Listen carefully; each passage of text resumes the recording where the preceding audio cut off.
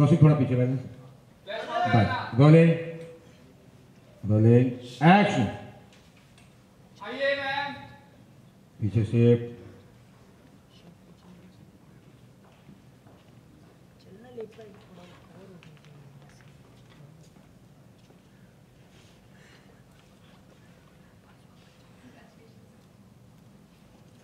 उसी लाइन